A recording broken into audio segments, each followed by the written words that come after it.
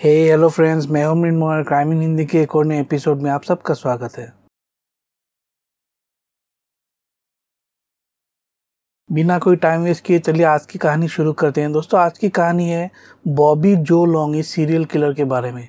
ये भी अमेरिका का एक सीरियल किलर था और बहुत ही ज़्यादा खूंखार सीरियल किलर था। इसका जो क्राइम का इतिहास है, इसमें इसने 10 औरतों का खून किया था और 50 से ज़्यादा रेप किए थे। लेकिन दोस्तों, अमेरिका में इस तरह के बहुत ही ज़्यादा सीरियल किलर्स रहे हैं, खासकर सेवेंटीज और एटीज के टाइम में। तो इस केस में खास बात यह है कि इसका जो आखिरी शिकार था, एक सत्रह साल की लड़की लीजा मैगवी करके वो इसके चंगुल से भागने में एकदम कामयाब हो गई थी।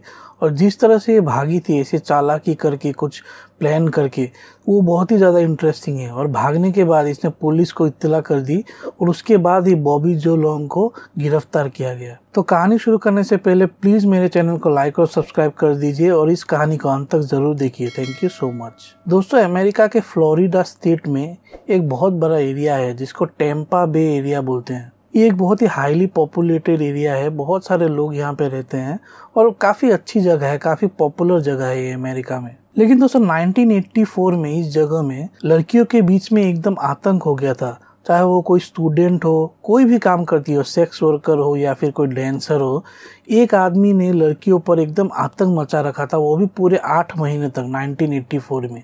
और इस आदमी का नाम है बॉबी जो लॉन्ग इसने सिर्फ़ आठ महीनों के अंदर 1984 में, दस महिलाओं का खून कर दिया था और काफ़ी सारे रेप्स किए थे, बहुत ज़्यादा। ये रेप्स बहुत ही पहले से कर रहा था और करीब पचास से ज़्यादा रेप्स ये कर चुका था। ये कहानी इसी शैतान आदमी की है और इससे बच चुकी एक मासूम लड़की सत्रह साल की लीजा मैगवी उसके ऊपर है। अब दोस्तों इसके क्राइम के बारे में चर्चा करने से पहले इसका जो अर्ली लाइफ है, इसका जो चाइल्डहुड है, उसके बारे में थोड़ा सा चर्चा करते हैं। बॉबी जो लोंग का जन्म हुआ था 14 नवंबर 1953 को अमेरिका के ही वेस्ट वर्जीनिया में। उसके अर्ली लाइफ के बारे में इतना ज़्यादा इन्फॉर्मेशन तो नहीं है, लेकिन हाँ एक बात है कि इसके पेरेंट्स का जो रिलेशनशिप था वो बिल्कुल अच्छा नहीं था। और इसके और इसके माँ का रिलेशनशिप भी बहुत ही ज़्यादा ख़राब था। ये जब पैदा हुआ था, तब एक डिफॉर्मिटी लेके पैदा हुआ था। इसके शरीर में एक्स क्रोमोजोम की संख्या बहुत ज़्यादा थी। अब इसके वजह से इसके बॉडी में एस्ट्रोजन बहुत ही ज़्यादा बढ़ गया था, जिसकी वजह से लड़कियों वाले ट्रेट्स इसके शरीर में आ गए थे। स्पेशली इसके जो मतलब स्तन है ब्रेस्ट है, वो बहुत ही ज़्यादा लड़कियों जैसे हो गए थे। अब इस चीज़ की वजह से जब ये छोटा था तो इसका बहुत ही ज़्यादा मज़ाक उड़ाया जाता था। और ये उससे काफ़ी ज़्यादा एम्बेरस होता था। और इस चीज़ ने इसके दिमाग में बहुत ही ज़्यादा बुरा असर छोड़ा था। बचपन में ही इस प्रॉब्लम की वजह से इसने ब्रेस्ट रिड्यूसिंग सर्जरी भी करवाई थी। इसके बचपन में बहुत ज़्यादा इसके साथ एक्सीडेंट्स भी हुए थे। और ये एक्सीडेंट्स ऐसे थे जिसकी वजह से इसके सर पर बहुत बार चोट लगी थी। अब जैसे मैंने आपको पहले कहा कि इसका और इसके माँ का जो रिलेशनशिप था, वो बहुत ही डिसफंक्शनल था। वो अपने टीनेज सालों तक अपनी माँ के साथ ही सोता था। इसके माँ और इसके फादर का डिवोर्स हो जाता है। डिवोर्स के बाद इसकी जो माँ होती है, वो हर रोज़ अपने जॉब के बाद अलग अलग बॉयफ्रेंड्स के साथ अपने घर आती है। और ये सब देख के इसका एकदम मतलब दिमाग ख़राब होता है, बहुत ही इसको बुरा लगता है। इसकी एक गर्लफ्रेंड भी होती है और 1974 में ये दोनों शादी कर लेते हैं और इसके दो बच्चे भी होते हैं। अब दोस्तों बात करते हैं इसके क्राइम्स के बारे में। इसके क्राइम्स बहुत ही ज़्यादा भयानक होते हैं। पहले तो इसने खून करना शुरू नहीं किया था। पहले ये सिर्फ़ रेप करता था औरतों का। और ये किस तरह से अपने शिकार को फंसाता था, वो बहुत ही ज़्यादा भयंकर है। ये क्या करता था, ये अखबार में जो क्लासिफाइड एड्स होते हैं, वो सब ये पढ़ता था। और उसमें से अगर किसी महिला ने ऐड दिया है, समझ लीजिए किसी को प्लम्बर चाहिए या मैकेनिक चाहिए, या किसी तरह के डेटिंग कोई क्लासिफाइड ऐड भी हो सकता है तो ये उसमें वो आदमी बनकर चला जाता था। जैसे अगर किसी महिला को कोई मैकेनिक चाहिए तो ये मैकेनिक बनकर उस घर में पहुँच जाता था। पेनी सेवर करके एक अखबार के एड का इसने बहुत ही ज़्यादा इस्तेमाल किया था। उसके बाद ये आदमी उस औरत के घर पहुँच जाता था और फिर वो औरत को किसी ना किसी बहाने से बोलता था कि उसको बाथरूम जाना है या फिर किसी दूसरे रूम में जाना है और वहाँ पे जाके वो एक अपना एक रेप किट निकालता था। रेप किट मतलब रेप करने के लिए जैसे कोई रस्सी हो, कोई कुछ भी हो, वैसा सामान वो अपने साथ ही लेके घूमता था। तो वो निकाल के फिर वो उस औरत को ओवर पावर कर लेता था। फिर बुरी तरह से उसका रेप करके और उसको लूट के, पैसा वैसा सब लूट के वहाँ से भाग जाता था। इसने ये चीज़ पचास बार से ज़्यादा की है। इन सब चीज़ों के लिए 1981 में इसको पकड़ा भी गया था। इसके ऊपर ट्रायल भी हुआ था। लेकिन पता नहीं किस बहाने से ये उस ट्रायल से बच गया और बाइज्जत बरी हो गया। अब इसके बाद 1983 में ये टेम्पा बे में शिफ्ट हो जाता है और 1984 में ये अपना पहला खून करता है। वो एक 20 साल की लड़की को असॉल्ट करता है, उसके बाद उसका रेप करता है और बुरी तरह से उसका खून कर देता है। फिर उसकी लाश दूसरे दिन लोगों को मिलती है, जो एकदम बुरी तरह से बंधी हुई थी। अब आने वाले आठ महीनों तक ये करीब दस महिलाओं का रेप मर्डर किडनैप ये सब करता है। और ये सारे क्राइम्स टेम्पा बे एरिया के आसपास ही किए गए हैं। जो विक्टिम्स के बॉडी हैं, उनको ऐसी सुनसान जगह पे फेंका जाता है कि कई दिनों बाद ही वो मिलते हैं पुलिस को। और एकदम डिकम्पोज स्टेट में वो बॉडीज मिलते हैं। ये उन महिलाओं का अपना शिकार बनाता है, जो एकदम वलनरेबल है। मतलब अकेली रहती है या कहीं पे अकेली रुकी हुई है किसी के इंतज़ार में, या फिर ऐसी महिलाएँ जो घर में अकेली है और घर में कोई नहीं है तो ऐसी महिला को ये अपना शिकार बनाता है। इन महिलाओं को शिकार बनाने के लिए कई बार उनको स्टॉक भी करता है, और जब ऐसा मौका मिला कि वो महिला अकेली है, उसी समय वो उनके पास जाके फोर्सफुली उनको किडनैप कर लेता है, उसके बाद तो आप जानते हैं वो इनके साथ क्या करता है। इसने जितनी भी महिलाओं का खून किया था, उनमें से ज़्यादातर सेक्स वर्कर्स थे।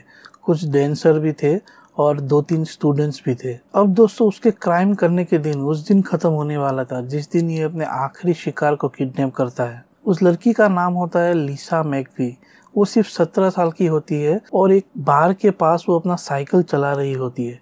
जहाँ से इस आदमी ने उसको किडनैप कर लिया था। ये डेट था नवंबर थर्ड 1984 लिसा मैकबी, जो सिर्फ़ सत्रह साल की थी, वो साइकिल चला के घर से अपने काम के लिए जा रही थी। किसी बहाने से बॉबी ने उसको किडनैप कर लिया और अपने कार में बिठा लिया। उसके बाद वो उसको अपने घर में लेके चला गया। अब आने वाले 26 घंटे तक 26 आवर्स तक, इस आदमी ने रिपीटेडली कई बार लीसा का रेप किया। लेकिन लीसा दोस्तों कोई ऐसी वैसी लड़की नहीं थी, वो बहुत ही हिम्मत वाली लड़की थी।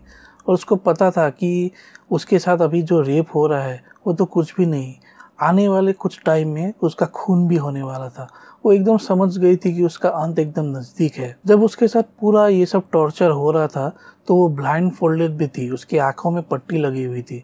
उसके बाद भी लीसा ने सोचा कि अगर वो कुछ ना कुछ निशानी छोड़ देगी इस घर में, जैसे फिंगर प्रिंट्स वगैरह या अपनी कोई चीज़ तो बाद में फ्यूचर में पुलिस को इससे मदद होगी और ये आदमी पकड़ा जाएगा। सोचिए, ऐसे सिचुएशन में भी लीजा के दिमाग में ये सब चल रहा था। तो उसने अपने फिंगरप्रिंट्स उस घर में पूरी तरह से रख दिए। टॉयलेट में हो, किसी दरवाजे में पूरी तरह में लगा दिया फिंगरप्रिंट्स हर जगह। अब 26 घंटे के बाद जो बॉबी है, उसने लिसा को छोड़ दिया। एक जगह पे, सुनसान जगह पे उसने लिसा को छोड़ दिया। उसके बाद लिसा सीधा पुलिस के पास गई और कंप्लेन की कि उसके साथ इस तरह से हुआ है, ये रेप हुआ है। और जिसने किया है, उसके बारे में भी बहुत सारे मतलब जो क्लूज़ हैं, उसने पुलिस को दिए। और इन्हीं क्लूज़ की मदद से कुछ ही घंटों बाद बॉबी को पकड़ा गया था। लिसा ने यहाँ तक बोला था कि जो गाड़ी है, जो ये आदमी यूज़ कर रहा है, वो गाड़ी का मॉडल, ब्रांड सब उसने पुलिस को बोला था। इस केस में ऐसे भी एक सुराग था कि जितने सारे बॉडीज मिले थे, उनके आसपास रेड फाइबर्स मिले थे। तो लिसा ने पुलिस को इस बारे में भी मदद की। और जो रेड फाइबर्स थे, एक्चुअली वो उसके जो बॉबी की कार थी, उसके फ्लोर मैट की रेड फाइबर्स थी। अब दोस्तों, जैसे मैंने आपको बोला कि जो लीसा है, वो काफ़ी हिम्मत वाली लड़की है। है सिर्फ़ सत्रह साल की, लेकिन काफ़ी हिम्मत वाली लड़की है। उसके साथ भी काफ़ी शोषण हुआ था, शारीरिक शोषण हुआ था। जब वो चौदह साल की थी, तब से वो अपने ग्रैंड मदर के साथ रहती थी और उसके ग्रैंड मदर बहुत ही ज़्यादा स्ट्रिक्ट महिला थी। उस ग्रैंड मदर का एक बॉयफ्रेंड भी था, जो लिसा को लगातार तीन सालों तक फिजिकली एब्यूज कर रहा था। जिस रात को लिसा का किडनैप हुआ था, उस दिन वो अपना सुइसाइड नोट लिख रही थी, दोस्तों, आप सोचिए। वो उस दिन मरना चाहती थी, लेकिन उसका किडनैप हो जाता है और थोड़ी देर बाद अपनी ज़िंदगी में ऐसा सिचुएशन आ जाता है कि वो सुइसाइड करना चाहती थी, अपना जान देना चाहती थी, लेकिन कुछ घंटे बाद वो खुद को बचाने के लिए बहुत ही ज़्यादा तरीका अपना रही थी, बहुत ही ज़्यादा दिमाग लगा रही थी। She was fighting for her life अब आप सोच रहे होंगे कि ये जो खूनी है, इसने लीसा को जाने क्यों दिया? जबकि उसको मालूम था कि अगर लीसा को वो छोड़ देगा तो वो पुलिस के पास चली जाएगी, ये पकड़ा जा सकता है। तो उसका रीजन ऐसा था कि लीसा बहुत ही चालाक लड़की थी। वो जो उसका कैप्टर था मतलब बॉबी था, उसके साथ वो बहुत ही रेस्पेक्टेबल वे से बात कर रही थी। उसको मालूम चल रहा था कि जो बॉबी है, उसका जो माइंड है, वो एकदम चाइल्ड लाइक एक माइंड है। तो वो उसको सिंपेथी दे रही थी, फिर बोल रही थी कि जैसे उसके पेरेंट्स खराब हैं तो मेरे भी पेरेंट्स खराब हैं। इस तरह से वो एक दोस्ती कर रही थी बॉबी के साथ। और शायद इन्हीं सब रीजंस की वजह से जो बॉबी है उसको बुरा लग गया होगा और वो शायद इसको नहीं मानना चाहता होगा। इसीलिए वो लीसा को लेके एक सुनसान जगह में पहुँच जाता है और वहाँ पे उसको वो छोड़ देता है और बोलता है कि पाँच मिनट के बाद तुम अपने आँखों से पट्टी हटा सकते हो और तब तक वो वहाँ से निकल जाता है। लीसा का जो दुख है दोस्तों, वो सिर्फ़ यहाँ पे खत्म नहीं होता है। अपनी जान बचा के, आप सोचिए, उसके साथ 26 घंटे तक रेप होता है। उसके बाद वो अपनी जान बचा के जब वो अपने घर पहुँचती है तो वहाँ पे भी उसके जो गार्जियन है, वो उसकी पिटाई करते हैं और इसकी बातों पे बिल्कुल विश्वास नहीं करते। और करीब पाँच घंटे तक इसके साथ पूछताछ करते रहते कि तुम कहाँ थे, क्या, ये सब ये सब। उसके बाद वो लोग मानते हैं कि हाँ ऐसा कुछ हुआ है, इसके साथ रेप हुआ है। तब जाके पाँच घंटे बाद वो लोग पुलिस को फ़ोन करते हैं। आप सोचिए दोस्तों, ये कितनी हिम्मत वाली लड़की होगी। और इसी हिम्मत की वजह से भी बाद में ये खुद एक पुलिस ऑफिसर बन जाती है और अपने साथ जो ये हुआ था, ये कहानी दूसरों को सुना के, स्कूल वगैरह में सुना के, एक मोटिवेशनल स्पीकर भी बन जाती है। अब दोस्तों, लीसा ने पुलिस को इतने सारे क्लूज दिए थे, सबूत दिए थे, कि अब बॉबी को पकड़ना बहुत ही आसान हो गया था। पुलिस के पास भी ऑलरेडी कुछ सबूत थे। उसके बाद लीसा ने कार का नाम भी बता दिया, कौन सी कार थी कलर वगैरह सब बता दिया। और फिर बॉबी के ऊपर तो पुलिस को शक था ही। इसीलिए नवंबर 16 1984 को एक मूवी थिएटर के बाहर पुलिस बॉबी का इंतज़ार कर रही थी। जब भी बॉबी उस थिएटर से बाहर आया, पुलिस ने उसको धर लिया, उसको गिरफ़्तार कर लिया। सबसे पहले उस पर चार्ज लगाया गया लीसा मैगवी के किडनैपिंग और रेप के बारे में। अब पुलिस को ये पूरा मालूम था कि जितने सारे जो ये दस महिलाओं के रेप और मर्डर हुए थे 84 में, वो सब सब इसी ने ही किए थे। लेकिन ये मान नहीं रहा था। लेकिन पुलिस की भी पूछताछ की एक तरीका होता है। वो कितना स्ट्रिक्टली पूछते हैं। तो इस तरीके से पूछने के बाद बॉबी हार मान गया और उसने कन्फेस कर लिया कि ये जो दस महिलाओं का खून हुआ है, वो इसी ने किए हैं। उसने पुलिस के सामने पहले चालाकी करने की भी कोशिश की। उसने कहा कि मैं कुछ नहीं बोलूँगा, मुझे एक वकील चाहिए अटॉर्नी चाहिए, ये सब। लेकिन पुलिस ने उसकी एक नहीं सुनी और इवेंचुअली फिर इसने कन्फेस कर ही दिया। इस केस में सबसे बड़ा सबूत वो था, जो रेड कलर का फाइबर था।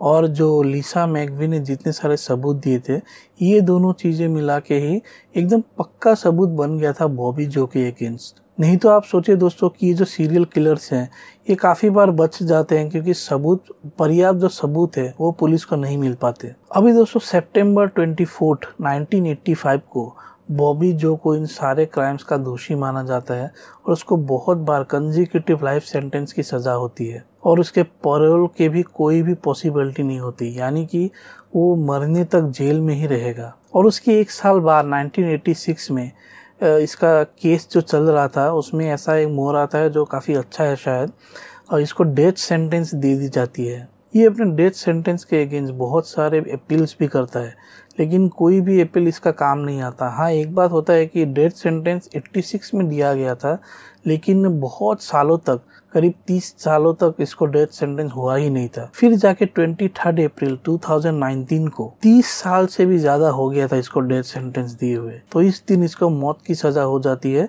विथ लिथल इंजेक्शन और दोस्तों, इसी तरह से एक और खूंखार सीरियल किलर की मौत हो जाती है। और जो आखिरी विक्टिम थी लीसा मैकबी वो आज ही एकदम हेल्दी है और वो पुलिस में काम कर रही है और अपना काम बहुत ही अच्छी तरह से वो कर रही है। इस पूरे मामले में जो लिसा मैकवी की कहानी है, उसके ऊपर एक फ़िल्म भी बनी है, जिसका नाम है बिलीव मी वो आप देख सकते हैं। तो दोस्तों, यही कहानी थी आज की। होप करता हूँ ये कहानी आपको अच्छी लगी हो। अगर अच्छी लगी हो तो प्लीज़ मेरे चैनल को लाइक और सब्सक्राइब कीजिए और आगे बने रहिए ऐसे और कहानियों के लिए। Thank you so much